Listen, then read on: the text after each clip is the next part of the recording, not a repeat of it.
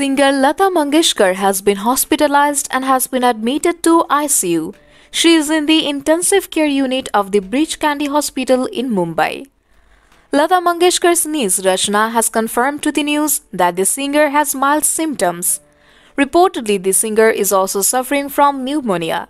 She has other health issues and looking at age factor, doctors are closely monitoring the situation.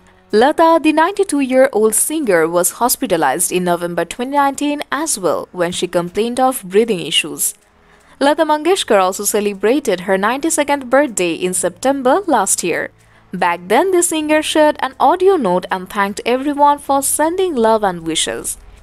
She is also called the Nightingale of India, is also the recipient of several awards including Padma Bhushan, Padma Vibhushan and Dada Saheb Phalke Award among others. Lata Mangeshkar is not the first celebrity to be tested positive for coronavirus. Earlier, singer Arijit Singh and his wife were also found infected.